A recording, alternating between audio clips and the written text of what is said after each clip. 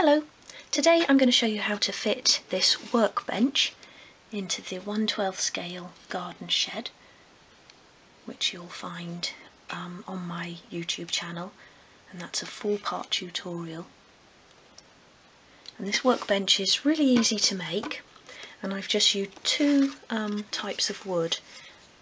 The Obeche um, is the make of wood and that's spelt O-B-E-C-H-E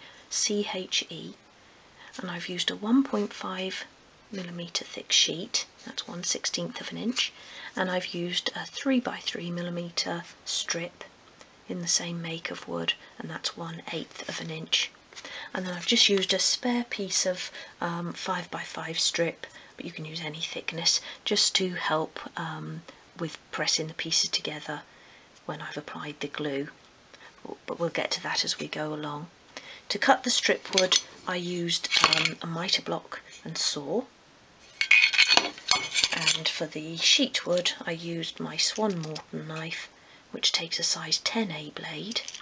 Always put a new blade in at the start of a project or if it begins to catch or drag along the wood which means it's becoming blunt. You'll need a steel rule which we use for cutting the wood and obviously for measuring. Nice sharp pencil for accurate marking and then I've used um, a walnut varnish to finish the piece. And that's just a normal household interior satin varnish. I've used Gorilla Wood glue, any sort of strong um, glue that bonds quickly. Or PVA and I apply glue with a cocktail stick. I also use those to remove excess glue and you'll also need some um, q-tips or cotton buds. They come in handy as well for removing glue once the piece is actually in place. So uh, yes and some sandpaper. And as you know by now I cut mine into these small pieces to make them easy to handle. And you'll just need a sort of 180 a sort of medium grade sandpaper. And that's just used for distressing the piece at the end because I don't do any sort of sanding as we go along. I think that's everything you'll need. The cutting list is coming up next and then we'll get started. Okay, so we're going to begin by gluing two short supports between each pair of legs. And the legs are the slightly longer, don't get them confused with the long support, which is slightly shorter. So leave those to one side. So I've dispensed some glue here onto a piece of card and I'm using a cocktail stick to apply it. So just apply a tiny dot to each end of each short support.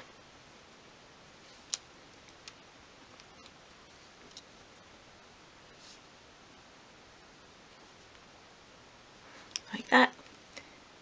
And then glue one to the top of the first leg and one to the bottom and then bring in the remaining leg. So we're just creating a frame here. Press those together until you can feel the glue begin to take. And then don't try and pick that up as it'll just fall apart, but just carefully slide it along the worktop. And then you can get on with the next one. So do that with each pair of legs, so you'll have four of these frames once you're done.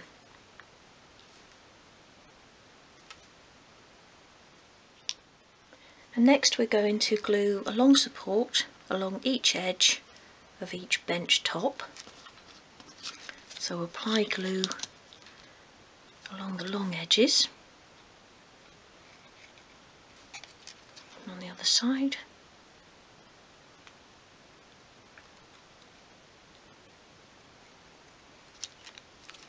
That and then just press a long support up against each side. Press it firmly into place. Squeeze those together.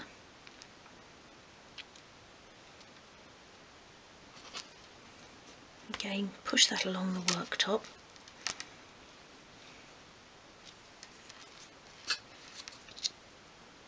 So do all three bench tops in the same way purposely not removing the excess glue so this is going to be hidden underneath the bench. The top part will have an extra top covering it. So there's no need to spend time doing that. Okay, so take one of the supported top pieces and apply glue along one short edge. Bring in one of the leg sections and just press that up against the top piece and the front and back will be flush. Then press it into place.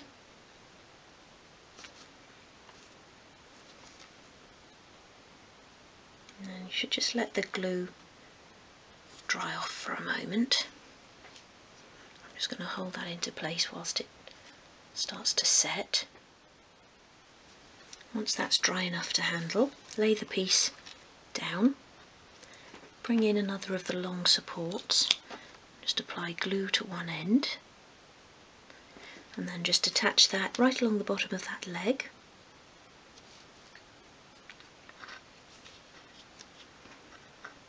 Press those together.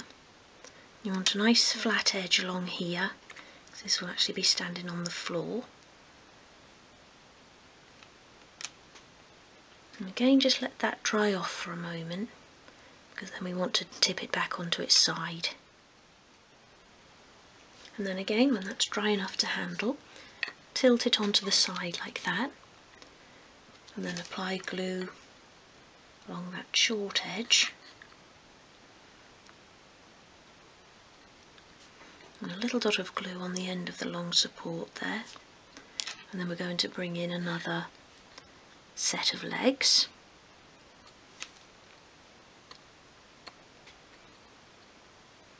You want the long support at the bottom there to be flush with the bottom of that back leg. And then you can sort of turn it like that and press it all flat and press that up against there. Just making sure that long support at the back there stays where it should. Nice flush edge along there. And you can bring in a piece of your spare um, 5x5 strip here just to press those edges together. Make sure you've got a nice sort of tight join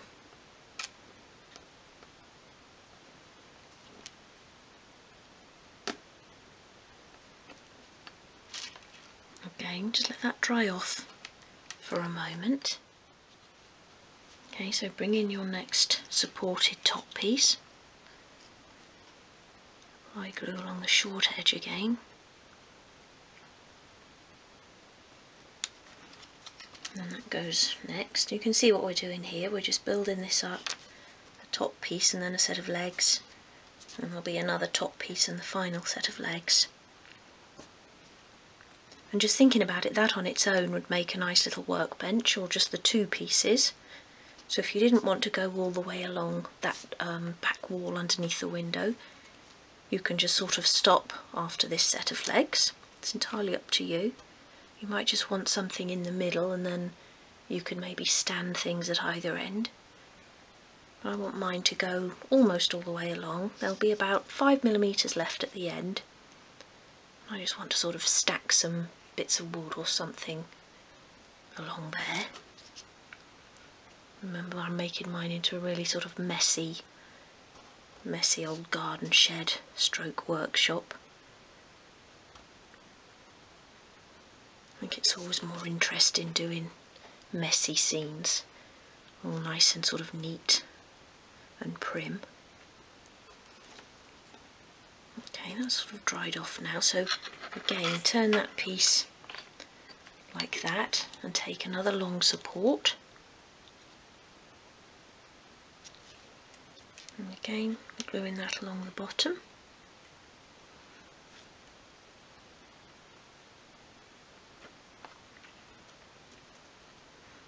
Just holding that top piece down, that's tipping up there. I think after a while cutting mats begin to bubble a bit this one's certainly getting old now, so they sort of stick up a bit in the middle. whenever I'm trying to make sure something's straight I will sort of use the flat area on my desk rather than on the cutting mat.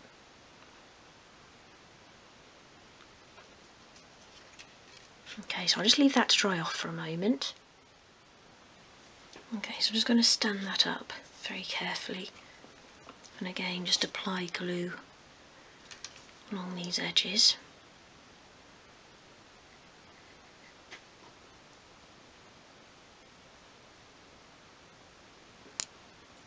And set of legs. Get it into position along that top first.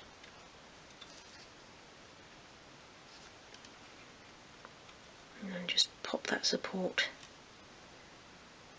into that bottom corner. I'm just very gently pressing it all together because it's quite fragile at the moment. I'm just going to lay that down like that and bring in my spare piece of 5 by 5 strip. Just press all that together, making sure this is still a nice flat edge along here. Okay, so I'm going to apply glue to my final top piece.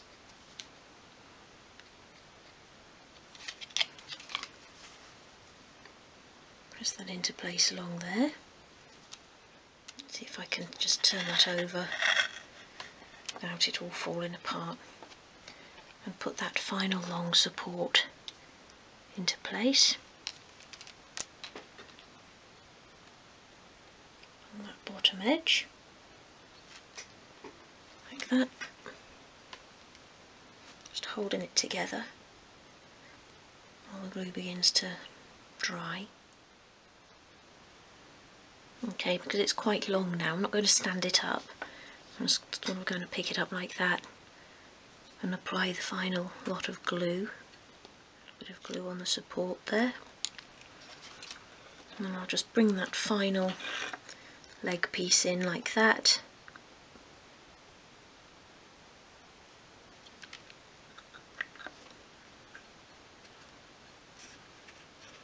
This is what squares everything up. Just make sure the top is all flush. I'm actually going to try and turn that and use my strip to pull that all together. Just very gently pushing that into a better position, just slightly overhanging at the front, so just keep checking, keep making sure everything's square and where it should be and you've got time to do that before the glue has completely dried. I'm happy that that's nice and flush there. If you find afterwards that something's gone a bit wrong and you haven't got a complete sort of straight line along the bottom, you can just sand certain areas away a little bit. But again, if you're doing a rustic shed, it probably doesn't matter if you've got a bit of a wonky workbench. just adds to the realism. Okay, so I'm going to sort of push that along now and leave that to dry. And then we'll have a look at it inside the shed. Okay, so there's the workbench in place. And like I say, there's about five millimetres or, or maybe quarter of an inch um, at this end. And I'll be putting some planks of wood in there, some strip wood. Um, but you need that, you can't go all the way along because you've got this lip here um, behind the door or at the edge of the door, you wouldn't be able to get that in unless you had that bit of movement there. So unless you sort of build this in as you're building the shed, um, maybe before you've put the mouldings in and the roof on so you can sort of slide it straight down, you won't be able to have it so that it's all the way along like that. So you are going to have to have a bit of a gap. But like I say, you might just want to do one section or two sections and have it in the centre there and then you've got space to stand things at either end. So it's entirely up to you, but you will need a little bit of room um, just to get that into position. Okay, so I'm going to take that out of there now. Really carefully. And it's still tight, as you can see, even with that little gap at the end, so do be careful as you're sort of manoeuvring it. and I'll just pop the shed to one side and now we can fit the workbench top. Okay, so apply glue then to the tabletop.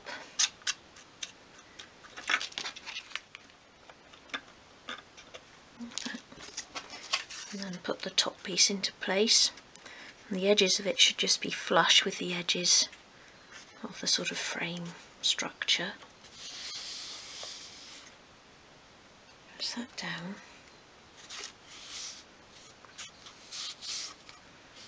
And then I'm going to clamp this into place all the way around.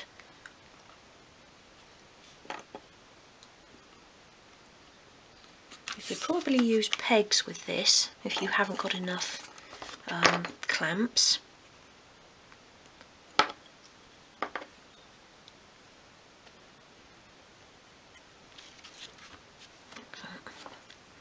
And just go all the way around so use as many as you can supporting it in all areas. Be careful with these ones because you haven't put them on sort of exactly in the centre of that strip underneath they can ping off.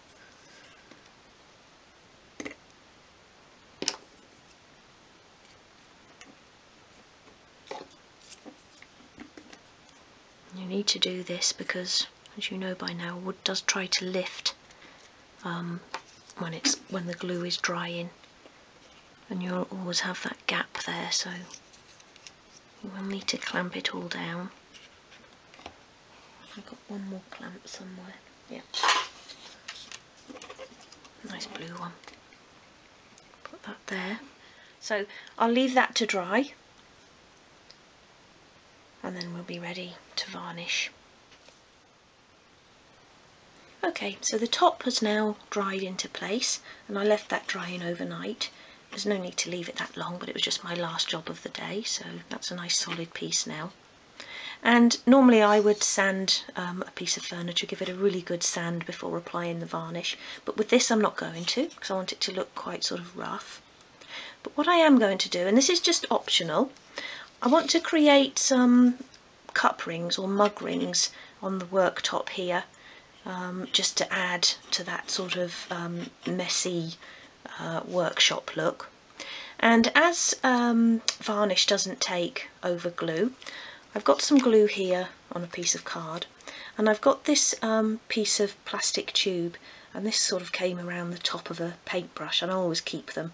I never throw anything away if I think it might come in handy. But you could also use a drinking straw but bear in mind the bottom of a mug is about three inches. Um, so don't use anything that's sort of wider than six millimeters or quarter of an inch because it'll be too big. And then you just want to dip the end of the tube just lightly in the glue. Like that. And then just press it onto the worktop where you think a, a cup might have been standing a little bit more there.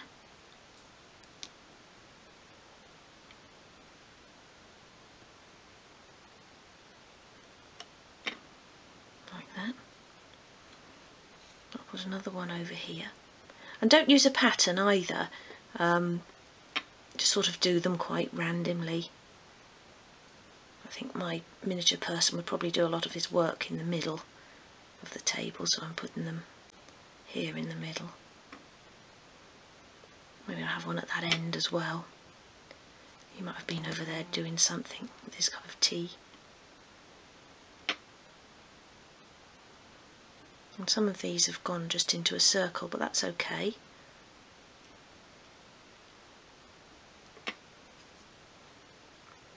I need to stop now because I feel like I'm doing too many, but it's such good fun.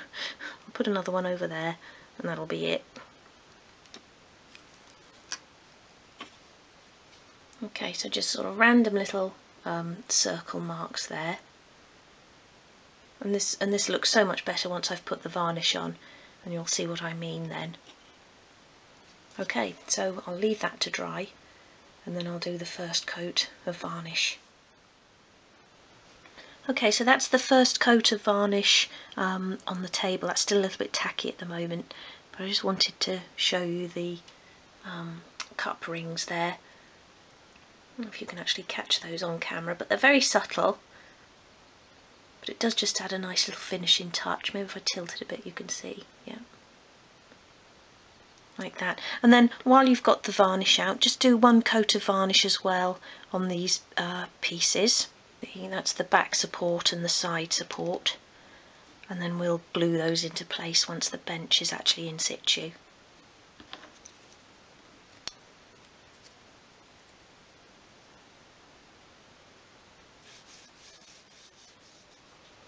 Okay, the varnish is now completely dry and I'm actually going to glue um, the workbench into place inside the shed. So begin by applying glue along the bottom edge. And you'll need to work quite quickly because we've got to apply it to the bottom edge, the back and then along that side as well that's going to be touching the wall. Okay, that's everywhere. And manoeuvre that in without getting glue anywhere else. And then just press that into place and try and get your hands in there and sort of press it against the back wall at the same time. And I'm pressing it down as well. So everything that's glued and touching just give it a good press.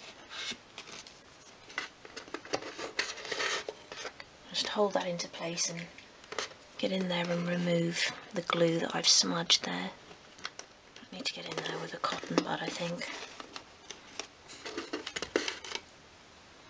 see what I've got here.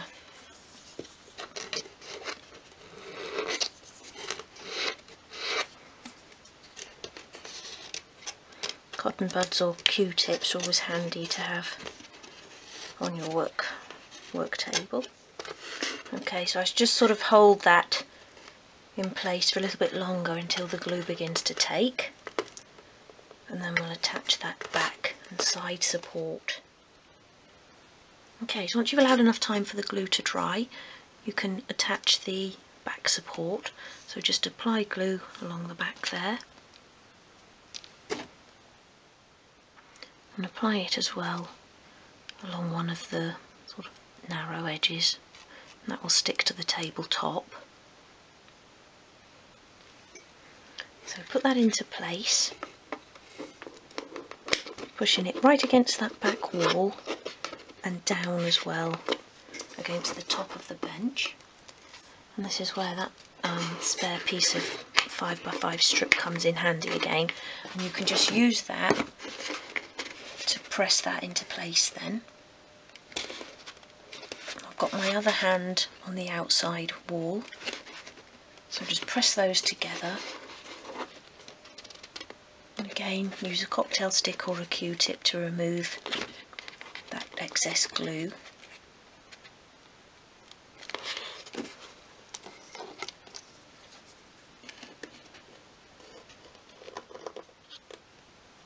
And then you can do the same thing again with that side support. Bit there. Along one of the narrow edges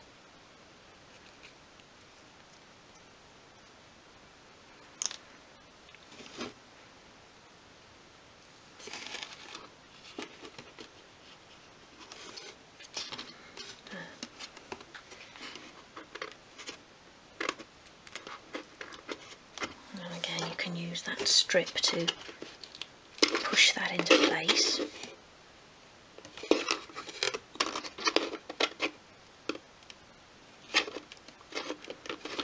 So this just finishes it off, just makes it look like the workbench is actually built in rather than just sort of freestanding. And if you're doing a sort of smaller workbench and you just want it in the middle, then you can just put a piece along the back.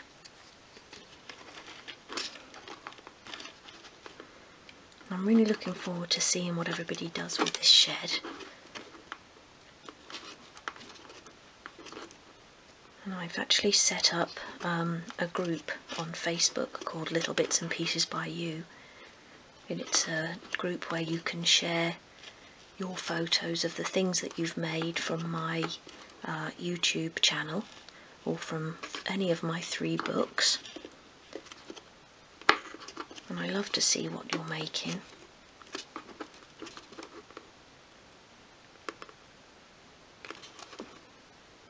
I'll put a link below to my Facebook page and then you can find the group from there. It's a closed group so you need to sort of request um, to become a member. I check that regularly every day so I'll just approve you as soon as I see you. And I'm pressing this down as well, as well as sort of against the wall like that.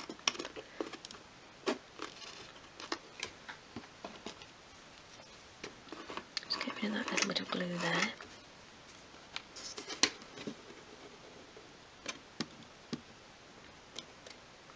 Okay, so that's the bench now complete, but because I want mine to look particularly sort of old and rough, what you can do is just take your um, craft knife and very, very carefully sort of make a few scores in the edge of the um, wood. That's just sort of people have been working on it, the saw may have slipped or their knife. And again, it's one of those things where you don't want to go too mad. You sort of think about the places where more wear and tear will occur. And it's not sort of overly noticeable, but it's just all these little tiny details that you put in that really do make a difference when somebody's looking in.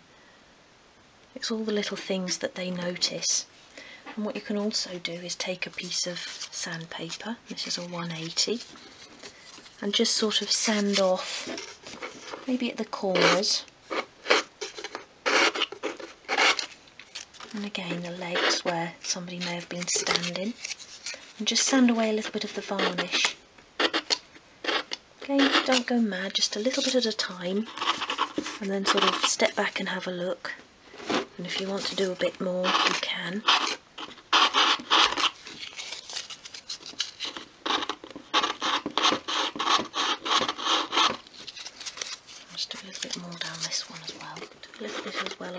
front edges of the desk.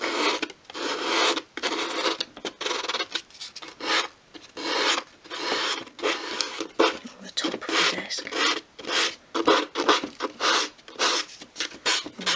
Rather.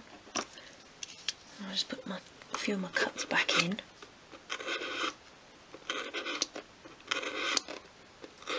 You know, and you can spend as much or as little time on this as you want to.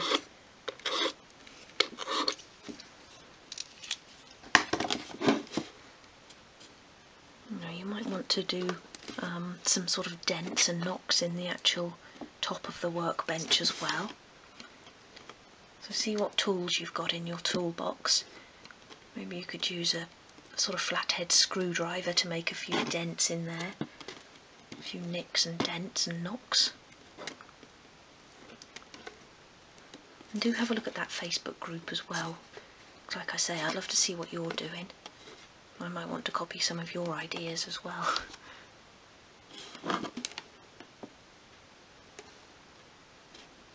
Okay, so that's it for today, and I really hope you've enjoyed that. And I'm going to be doing lots of shorter little tutorials, um, adding little bits at a time. We're going to put a, um, a light switch in here, and we'll do some sort of tube wiring as well maybe put some plug sockets and things like that in.